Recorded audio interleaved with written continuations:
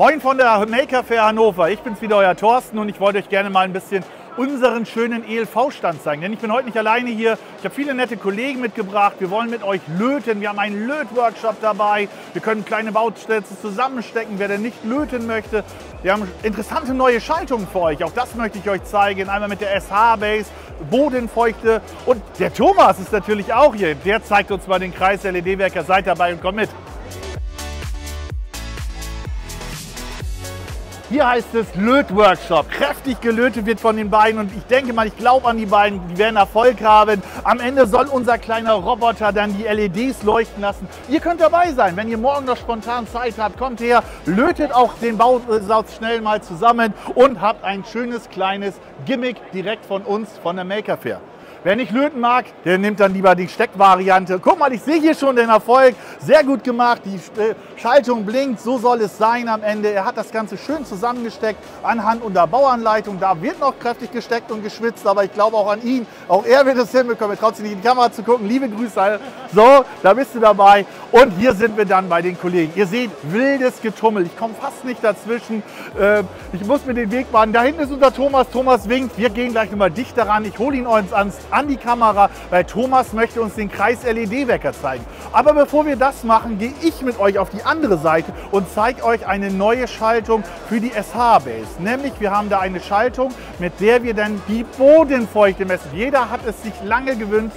Wir haben das GVI. Wir werden in unserem Seminar am Mittwoch, seid übrigens gerne dabei, Entschuldigung, es ist der Donnerstag, am Donnerstag seid gerne dabei, live aus Holgers Garten, leider ohne Holger, aber ihr lädt uns ein, das Ganze präsentieren und dann einmal auch den Bodenfeuchtesensor in Aktion an der CCU3 vorstellen. Also komm, wir gehen rüber, ich zeige euch den Sensor.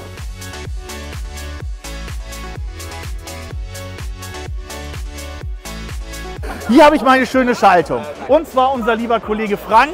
Frank ist dort. Liebe Grüße auch. Frank darf mal in die Kamera. Jawohl.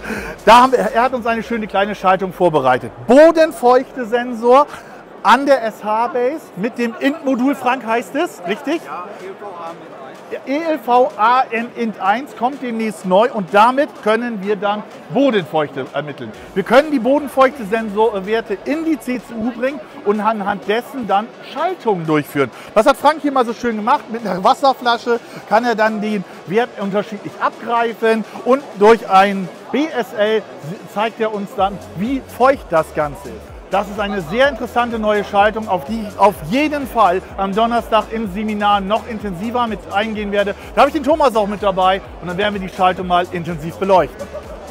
Ansonsten haben wir noch mal die Schalterfernbedienung. Die sehe ich jetzt hier auch gerade. Die hatte ich euch noch gar nicht vorgestellt. Das wird auch einer unserer neuen Bausätze sein, in dem wir einen unserer bestehenden Module einbauen können, nämlich den RC8 ist es, äh, der dann entsprechend Werte in die CCU liefern kann und dann oder auch in die, die Homatic IP-Welt an der Cloud liefern kann und dann entsprechend dort als Merker genutzt werden kann. Also ihr könnt den Schiebeschalter setzen und sagen, okay, ich brauche den Wert, ich bin im Urlaub, ich bin abwesend, meine Rolle an Automatik soll an oder aus sein und dann könnt ihr diese Werte als Merker in euren Automatisierungen, natürlich an der CCU oder auch an der Cloud, weiterverwenden.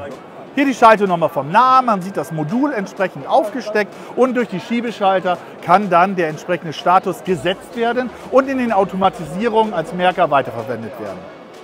Wen treffe ich denn hier? Guck mal, unser Holger ist auch dabei. Holger im ELV-Shirt und lässt sich gerade mal unsere Messeangebote zeigen. Nämlich wir machen hier nicht nur Präsentation, sondern aktuell haben wir sogar einen kleinen Messeverkauf für euch vorbereitet, wo ihr einige unserer spannenden Bausätze und äh, Breadboards auch direkt erwerben könnt. Also wenn ihr morgen noch Zeit habt, ich habe euch ja schon mal eingeladen, dann kommt auch da gerne vorbei und profitiert von den attraktiven Angeboten. Ja, das war so ein bisschen die Homatik-Welt. LoRaWAN kennt ihr noch von der letzten Maker Fair, ist auch natürlich wieder dabei. Und jetzt, ich habe euch ja gesagt, wir schauen nochmal, was der Thomas hier denn so treibt. Wir gehen zum Kreis-LED-Wecker. Thomas, was hast du uns mitgebracht? Ich sehe hier den Kreis-LED-Wecker ja. und ich erinnere mich ganz dumpf, du bist dafür verantwortlich. Du hast äh, das Ganze ich verbrochen. Genau. verbrochen. Ja. Erzähl doch mal einfach drei Sätze noch zum Kreis-LED-Wecker, wenn ich ja. dich hier schon mal direkt auf der Messe habe. Ja, also äh, das Thema Uhren ist eigentlich immer wieder ein heißes Thema. Es wird immer gern gekauft, es wird immer gerne halt eben als, als, als Bastelobjekt genommen, halt eben auch für die ersten Löterfahrungen. Und wir haben halt hier mit dem Kreis LED-Wecker, den ich mal gemacht habe, halt eben wirklich ein Projekt gemacht, was noch wirklich zum Löten da ist. Weil wir Ja. halt viele Bauteile dabei haben, die gelötet werden müssen. Nicht SMD-Vorbestückung oder was ich was, auch das natürlich dabei, aber halt eben eigentlich großartige Sachen, viele Sachen, die man löten darf. Es ist was für die Winterabende, nennen wir es mal so. Ja, ich sehe die ein oder andere LED, ne? wenn man mal so ein bisschen Langeweile hat, kann man die mal zusammendonnern. Da hat man ein paar Sachen, die man halt eben zu tun hat damit halt eben. Und äh, naja, wie gesagt, das ganze Thema ist halt eben, man hat halt hinterher wirklich einen kleinen Wecker. Ja, okay. Ähm, man kann eine Uhrzeit einstellen, man kann halt eben eine Wegzeit einstellen. Ja. Und man hat eben auch die Möglichkeit, halt eben die, ähm, die äh, Leuchtstärke einzustellen.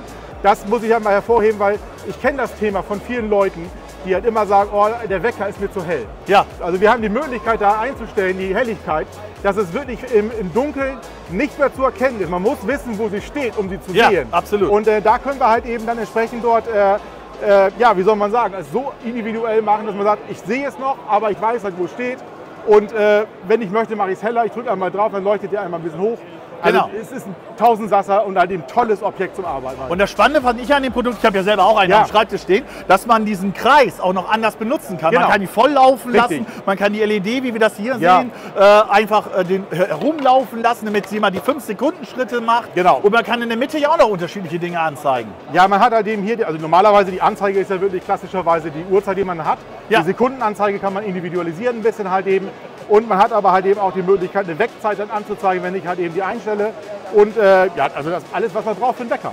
Es ist genau das, was man braucht. Ein sehr schönes Produkt, Thomas. Danke für die Kurzvorstellung. Das soll es an dieser Stelle davon nämlich gewesen sein.